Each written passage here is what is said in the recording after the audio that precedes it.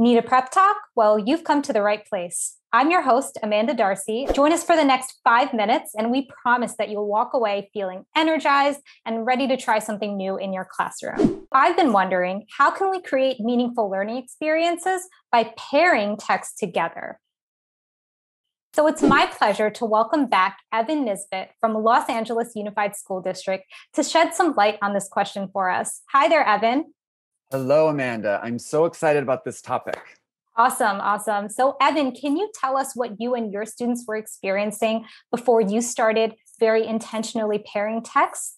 Uh, what were some of the pain points, so to say? So, you mentioned the word pain. I immediately think of I immediately think of the genre historical fiction oh, because oh, yes. as much as I want to encourage kids to read it, it's just very difficult. They just associate it with oh, that's the past. It has nothing to do with me. What I decided to do was pair my favorite fiction book with a nonfiction book that would provide background information for students. So then allowing them to immerse themselves more so in the story. I feel like I experienced this myself when I was writing lessons, you know, for a novel study. I found that I needed to do my own research on the history and the setting, you know, to better understand those nuances of the characters and the story and the plot. And so that really resonates with me. So now, you know, Evan, if you want to walk us through how you tackled this in your classroom. So, like, how did you go about finding that perfect text pair? So, one of the examples of pairing that I did was with The Orphan of Ellis Island, which I happen to have here because it's one of my favorite books. Uh-huh. And um, when I went to find the nonfiction pairing, I actually provided three different choices for my students depending on their reading level. So they may not be reading the exact same book, but they're reading a book that they understand. And that's so mm-hmm. important that they have ownership in that. Um, and so we had many discussions depending on which which uh, book they were reading, and that created a lot of dialogue. And students love nonfiction.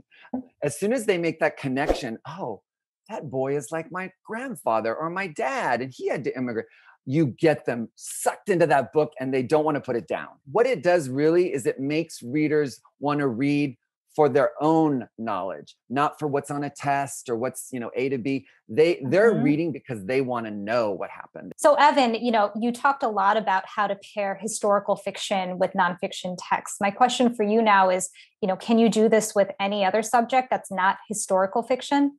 Absolutely. And I didn't know this till I tried it, but it, it was amazing. We read a book called The Music of Dolphins, um, mm-hmm. which is about a girl who is raised by dolphins and at some point is discovered by a scientist who wants to take her on the land. And it's an amazing story. Mm-hmm. But prior to reading Music of Dolphins, we read nonfiction books on dolphins. Um, Literacy Pro, Pro had several to choose from. Again, we went and, and based it on the reading levels that, that the students were at but mm-hmm. they learned about dolphins. And you know, kids think they know about dolphins, oh, they're cute and smart. But when they really research and find out information, they become a lot more savvy in terms of what dolphins can do and their habitat. And so when we read the book, it made it was an easy transition.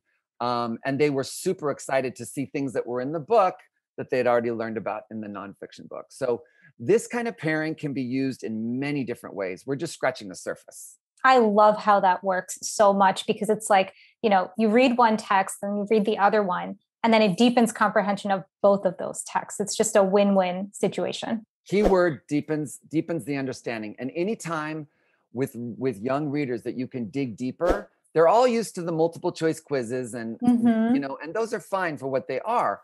But it's our responsibility as the teachers to give those questions that really dig deeper.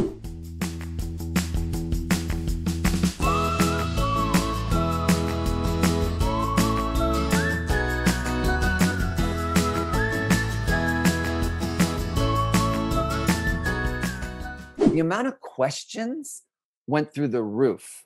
They had this background knowledge. So when we started reading the story, they were like, wait, isn't this the same place that was in the book? and wow. asking questions is like the, is the first step to comprehension. So that's amazing.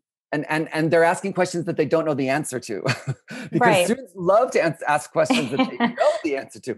But when they're authentically engaged in a book that they are rooting for the main character and the main mm-hmm. character is going type of struggle these are characters that they too can can relate to because they've been through hardships as well So it just it just makes it a lot more meaningful to them.